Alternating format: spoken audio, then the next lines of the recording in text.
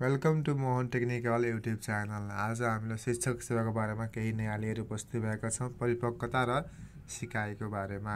सिकाइ भनेको अनुभव र तालिमद्वारा व्यवहारमा परिवर्तन आउनु हो।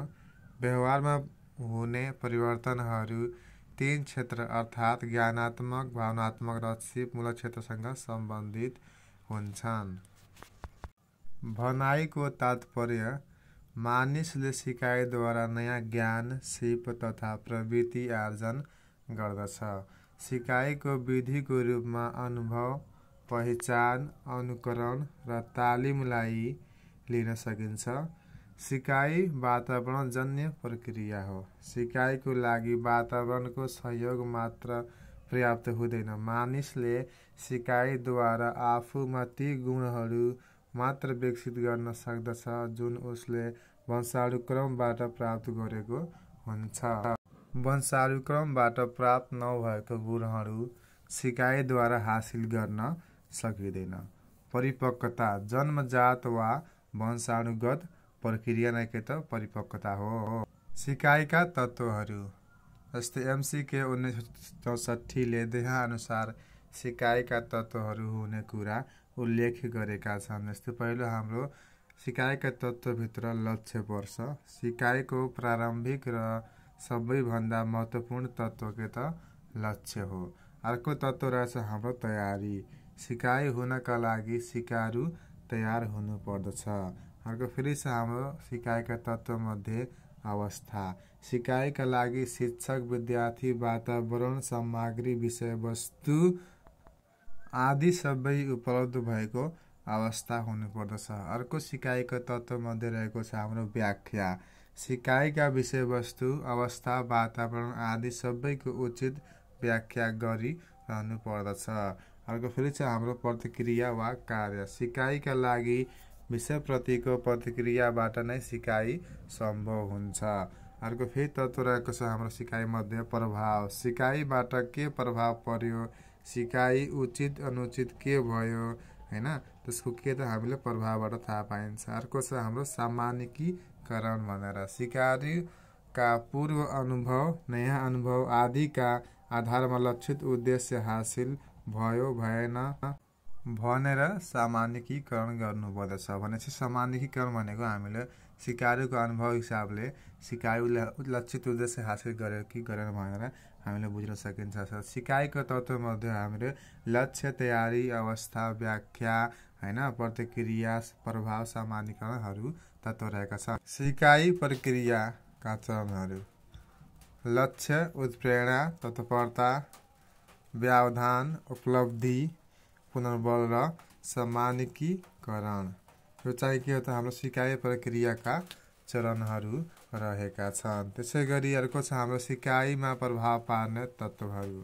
उत्प्रेरणा पुनर्बल अभ्यास, स्मृति र विस्मरण, स्थानान्तरण। यो के हो हाम्रो सिकाइमा प्रभाव पार्ने तत्त्वहरू हुन्। सिकाइमा प्रभाव पार्ने तत्त्वहरू। व्यक्तिगत कारक तत्त्वहरू है। स्वास्थ्य, शारीरिक सुसङ्गठन वैद्याधिक स्तर, सिकारुको उमेर, सिकारुको अभिरुचि इच्छा शक्ति विषय बौद्धिक सामर्थ्य सिकारुको के त हाम्रो सिकाइमा प्रभाव पार्ने तत्त्वहरूभित्र पर्छन् जस्तै वातावरण भयो होइन? सिकाइमा प्रभाव पार्ने मुख्य तत्त्व हाम्रो वातावरण हो।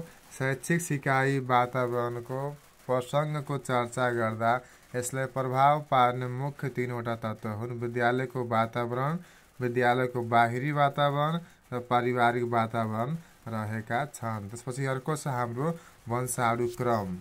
है आफ्नो अग्रज पुस्ताबाट दोस्रो पुस्तालाई प्राप्त गुण वा विशेषतालाई वंशा वंशानुगत गुण भनिन्छ। वंशानुगत गुण अपि अपरिवर्तनीय जन्मजात वा प्राकृतिक गुण भएकाले यसलाई हटाउन वा विस्तार गर्न सकिँदैन। यस्तो जन्मजात गुणमा जति मात्रामा वैदिक सामर्थ्य हुन्छ त्यति नै मात्रामा सिकाइ हुने गर्दछ। तसर्थ वंशानुक्रम सिकाइमा प्रभाव पार्ने पारक कारक तत्त्व हो।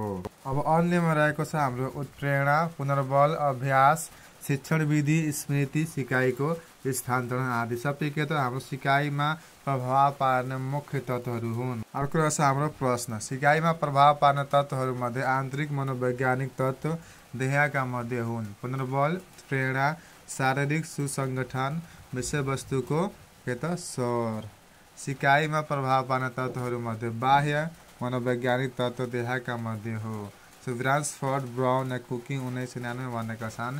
शारीरिक क्रिया सम्बन्धी तत्त्वहरू जस्तै उमेर शारीरिक सुसङ्गठन स्वास्थ्य आदि। मनोवैज्ञानिक तत्त्वहरू हुन्छन्। जस्तै कि आन्तरिक मनोवैज्ञानिक तत्त्व हुन्छन् बाह्य मनोवैज्ञानिक तत्त्व हुन्छ। आन्तरिक मध्ये हाम्रो सिकारीको उत्प्रेरणा धारणा गर्न सक्ने क्षमता हो भने अनि त्यसपछि हाम्रो जुन पुनर्बल छ त्यो हाम्रो बाह्य मनोवैज्ञानिक तत्त्वभित्र पर्छ। वातावरणीय तत्त्वहरूमा हाम्रो प्राकृतिक र सामाजिक गरी दुई प्रकारका छन् भने शैक्षणिक तत्त्वहरूमा हाम्रो सिकाइ प्रक्रियासँग सम्बन्धित तत्त्व विषयवस्तुको स्वरूप शिक्षण विधि शिक्षकको दस्ता सामग्री आदिहरू रहेका छन्। त्यसै गरी सिकाइमा प्रभाव पर्ने तत्त्वहरूमध्ये हाम्रो के के छ? प्रेरणा पुनर्बल अभ्यास स्मृति र विस्मरण र स्थानान्तरण हवस् thank you for watching this video and please subscribe our Mohan technical YouTube channel and click on the bell icon for more new update यस्तै हामीले तपाईँलाई कुनै पनि भिडियोमा हामीले स्पष्ट रूपमा बताइदिनेछौँ। तपाईँ अर्को भिडियो चाहिन्छ भने कृपया कमेन्ट गरिदिनु होला